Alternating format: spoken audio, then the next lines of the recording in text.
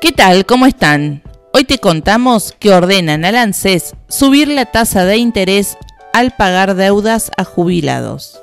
Te contamos que ya podés encontrar en Facebook la fanpage de trámites y cobros ANSES.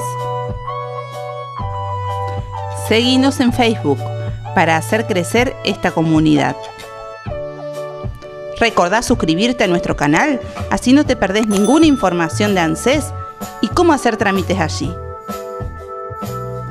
Si te gustan los remedios caseros y naturales, visita nuestro canal Receta Natural. Ahora sí, vamos al video. Un fallo de la justicia previsional rechaza que continúe en uso un índice que no considera la pérdida de valor de la moneda. El monto retroactivo que debe pagarle la ANSES a un jubilado que ganó un juicio por el reajuste de sus saberes deberá incrementarse utilizando la tasa de interés activa del Banco Nación. Así lo dispone un fallo del Juzgado de la Seguridad Social de primera instancia número 5, que revierte el criterio hasta hoy vigente, por el cual se aplica una tasa pasiva fijada por el Banco Central.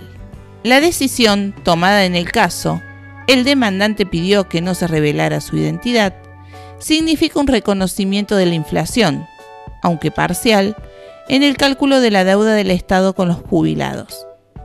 Esa deuda, que se hace visible con cada sentencia, proviene, por ejemplo, de la falta de actualización de los ingresos que afectó a muchos pasivos entre el 2002 y el 2006 y les produjo una fuerte pérdida de poder adquisitivo frente a la inflación.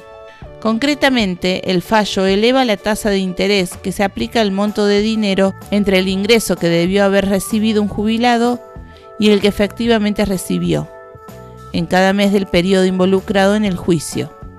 La tasa activa es más alta, porque su cálculo se basa en el costo de los préstamos otorgados por el sistema financiero, mientras que la tasa pasiva surge de los intereses que los bancos pagan a los ahorristas.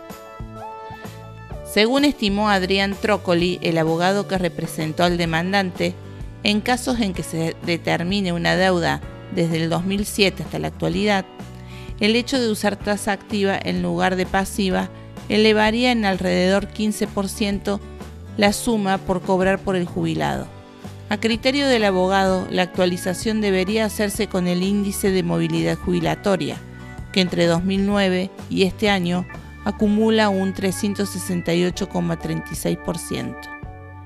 Este fallo abre la puerta a que el tema sea discutido y se reconozca el grave perjuicio que se causa a los jubilados por la excesiva demora de los juicios y la alta inflación.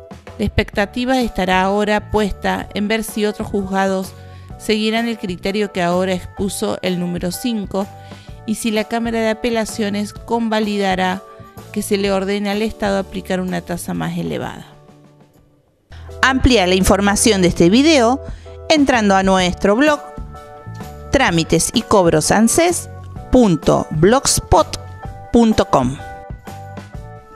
Espero que nuestra información te haya sido útil. Si es así, suscríbete, recordá que es gratis. Es solo un clic en el botón rojo y activa la campana para no perderte nuestras noticias y tutoriales de ANSES. Saludos y nos vemos en el próximo video.